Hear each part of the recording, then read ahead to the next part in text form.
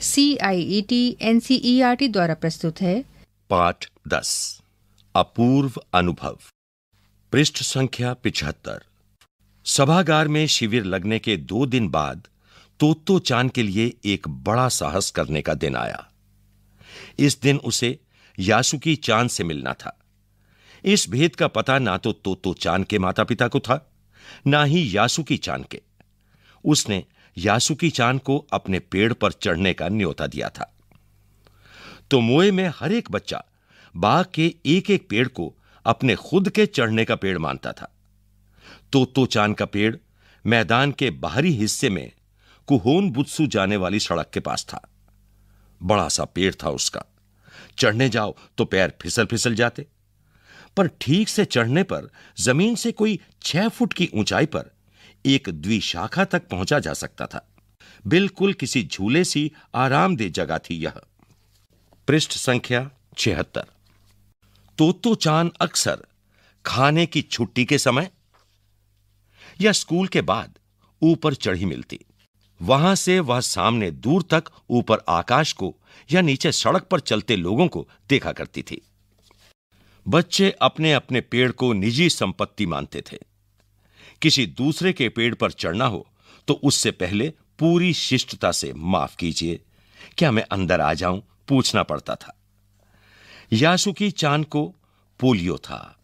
इसलिए वह ना तो किसी पेड़ पर चढ़ पाता था और ना किसी पेड़ को निजी संपत्ति मानता था। अतः तोतो चाँद ने उसे अपने पेड़ पर आमंत्रित किया था। पर यह बात उन्होंने किसी से नहीं कही, क्योंकि अगर बड़े सुनते तो ज़रूर डांटते। घर से निकलते समय तोतो चाँद ने माँ से कहा कि वह यासुकी चाँद के घर, डेनेन चोफू जा रही है। चूँकि वह झूठ बोल रही थी, इसलिए उसने माँ की आँखों में नहीं झांका। वह अपनी नज़रें जूतों के फीतों पर ही गड़ाई रही। रॉकी उसके पीछे पीछे स्टेशन तक आया।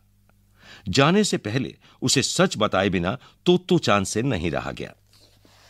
मैं यासुकी चाँद को अपने पेड़ पर चढ़ने देने वाली हूँ, उसने बताया। जब तोतो चाँद स्कूल पहुँची तो रेल पास उसके गले के आसपास हवा में उड़ रहा था। यासुकी चाँद उसे मैदान में क्यारियों के पास मिला। गर्मी की छुट्टियों के कारण सब सूना पड़ा था। यासुकी चाँद उससे कुल जमा एक ही वर्ष बड़ा था, पर तोतो चाँद को वह अपने से बहुत बड़ा लगता था। जैसे ही यासुकी चाँद ने तोतो चाँद को देखा, वह पैर घसीटता हुआ उसकी ओर बढ़ा। उसके हाथ अपनी चाल को स्थिर करने के लिए दोनों ओर फैले हुए थे। तोतो चाँद उत्तेजित थी। वे दोनों आज कुछ ऐसा करने वाले थे जिसका भेद किसी को भी पता न था। वह उल्लास में ठिठियाकर हंसने लगी। यासुकी चाँद भी हंसने लगा। पृष्ठ संख्या सतहत्तर। तोतो चाँद यासुकी चाँद को अपने पेड़ की ओर ले गई और उसके बाद वह तुरंत चौकीदार के छप्पर की ओर भागी। जैसा उसने रात को ही तय कर लिया था।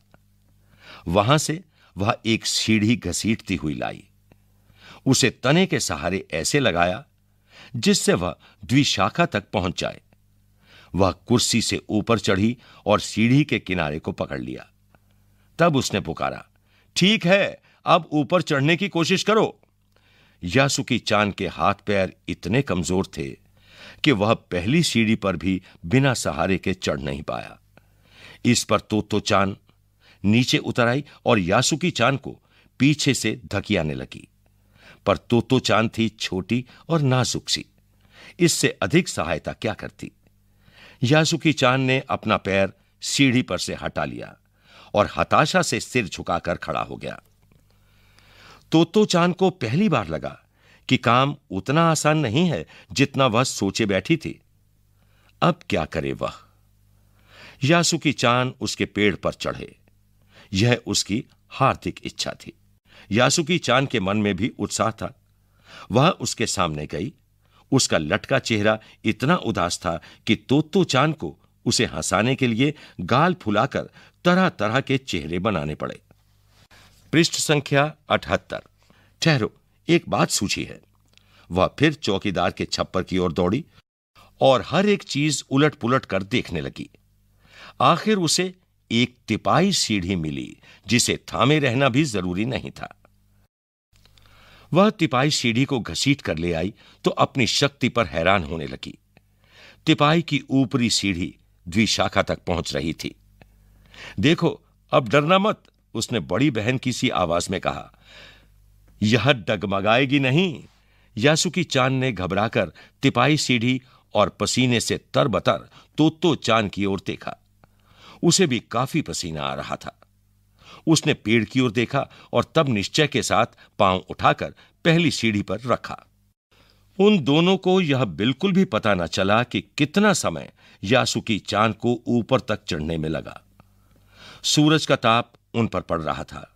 पर दोनों का ध्यान यासुकी चाँद के ऊपर तक पहुँचने में रमा था। तो तो चाँद नीचे से उसका एक एक पैर सीढ़ी पर धरने में मदद कर रही थी। अपने सिर से वह उसके पिछले हिस्से को भी स्थिर करती रही। यासुकी चाँद पूरी शक्ति के साथ जूझ रहा था और आखिर वह ऊपर पहुँच गया।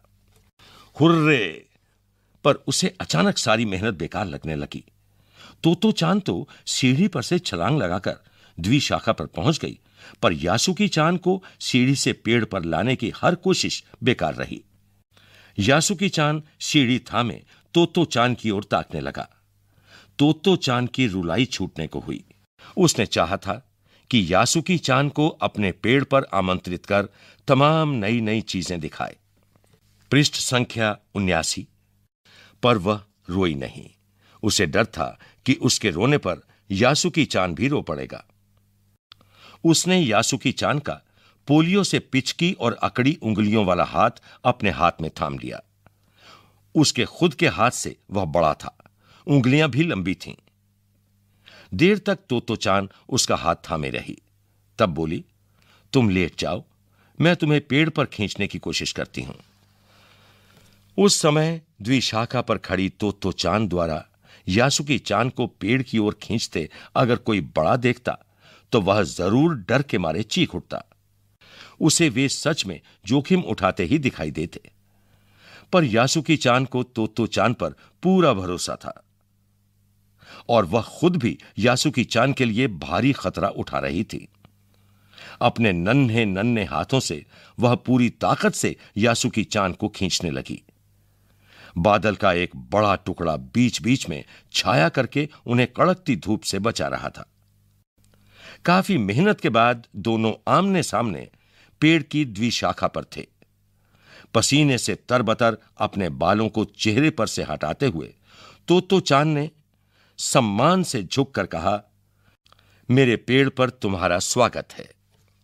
पृष्ठ संख्या अस्सी, यासुकी चाँद डाल के सहारे खड़ा था। कुछ झिझकता हुआ वह मुस्कुराया। तब उसने पूछा, क्या मैं अंदर आ सकता हूँ? उस दिन यासुकी चाँद ने दुनिया की एक नई झलक देखी, जिसे उसने पहले कभी न देखा था। तो ऐसा होता है पेड़ पर चढ़ना, यासुकी चाँद ने खुश होते हुए कहा। वे बड़ी देर तक पेड़ पर बैठे बैठे इधर उधर की गप्पें लड़ाते रहे। मेरी बहन अमेरिका में है, उसने बताया है कि वहाँ एक चीज़ होती है, टेलीविज़न। यासुकी चाँद उमंग से भरा बता रहा था। वह कहती है कि जब वह जापान में आ जाएगा तो हम घर बैठे बैठे ही सूमो कुश्ती देख सकेंगे। वह कहती है कि टेलीविज़न एक डिब्बे जैसा होता है। तो चाँद उस समय यह तो न समझ पाई कि यासुकी चाँद के लिए, जो कहीं भी दूर तक चल नहीं सकता था, घर बैठे चीज़ों को देख लेने के क्या अर्थ होंगे? वह तो यही सोचती रही कि सूमो पहलवान घर में रखे किसी डिब्बे में कैसे समा जाएँगे? उनका आकार तो बड़ा होता है पर बात उसे बड़ी लुभावनी लगी।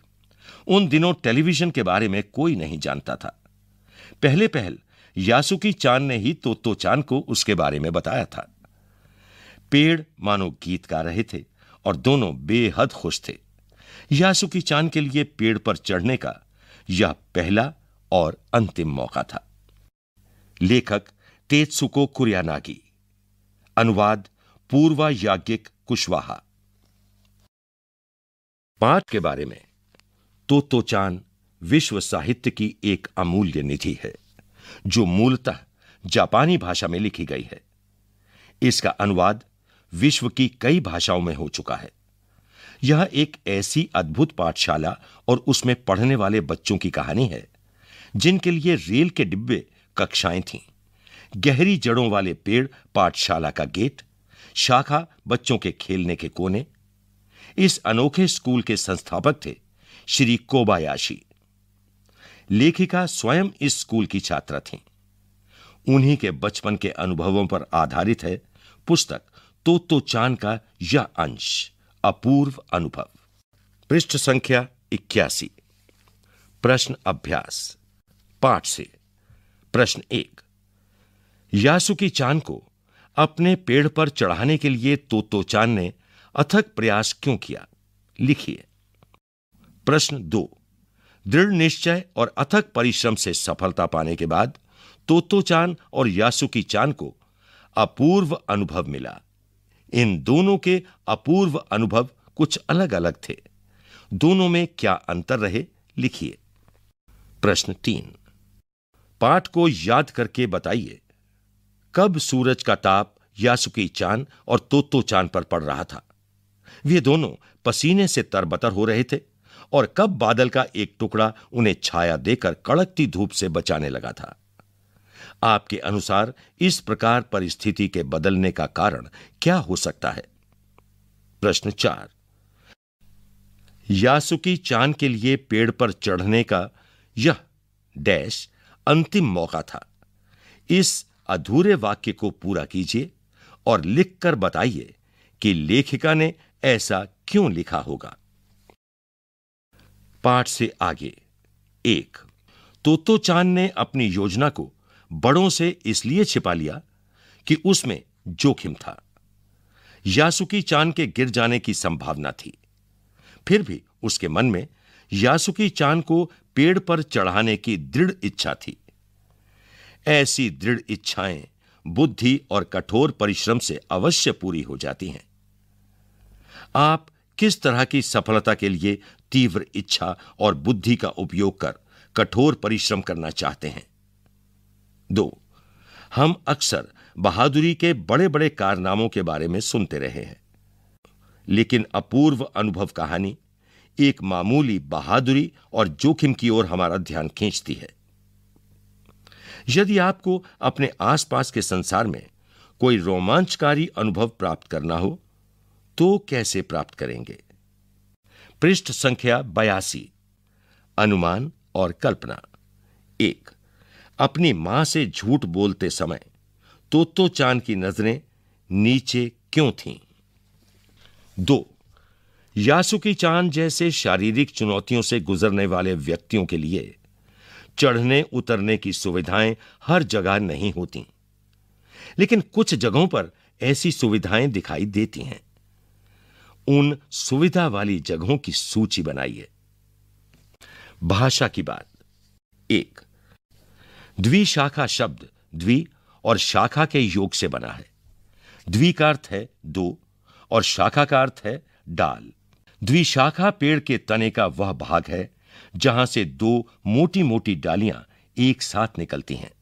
द्वि की भांति आप त्रि से बनने वाला शब्द त्रिकोण जानते होंगे।